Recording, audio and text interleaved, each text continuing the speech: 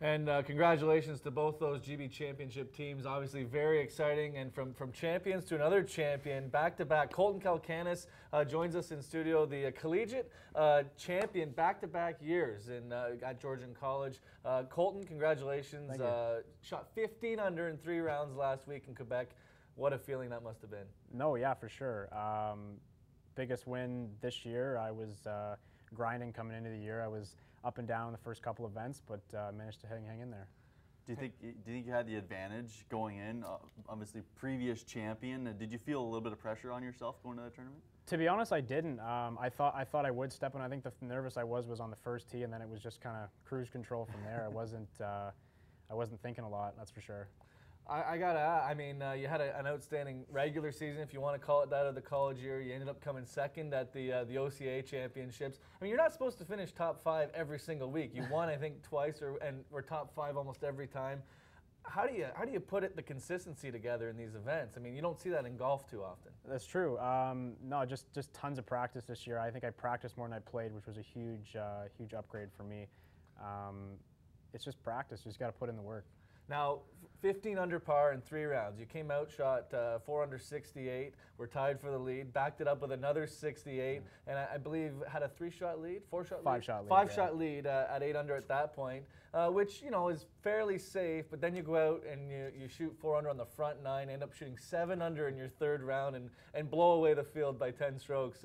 What were you thinking on day three or heading into day three? Um, I've been talking with a couple buddies about that. Like coming into day three, they were all saying you shouldn't, not you shouldn't be playing it safe, but in my mind, I w- I don't think I was ever going to play just for pars.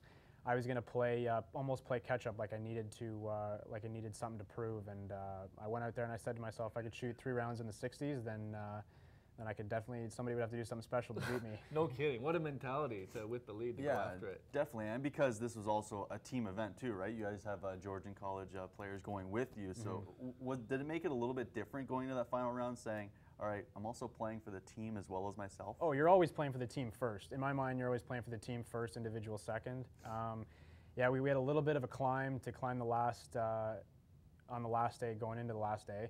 Um, we went uh, we were actually in third place going into the back nine, um, and then I guess a little bit of nerves kicked in with the team, but uh, I just tried to finish as strong as I possibly could to put ourselves in, in contention. Coached by Katie Ferguson, who won Coach of the Year again in Ontario for the golf team, and uh, some great teammates I'm sure you'd like to mention, and uh, you know a group that are obviously pretty close together. Yeah, we had uh, like I was telling all the guys this week, um, Alex Clayton, Sterling, and Mike. Um, I was saying that uh, we need to keep things light, and they they they definitely have that mindset, and they're a great group of guys. We all get along great together. Um, and yeah, it was just it was it was just it was it was more about having fun this week than anything, and they uh, definitely brought it. What's next for uh, for Colton Kalkanis? I know you've been working hard with Jim Salnick at the Barrie Country Club. Uh, two years in a row now, you've won the collegiate yeah. championship. What's left there? I mean, what are, what are your thoughts? Obviously, some decisions to make. Yeah, I've definitely uh, turning professional has has, um, has crossed my mind.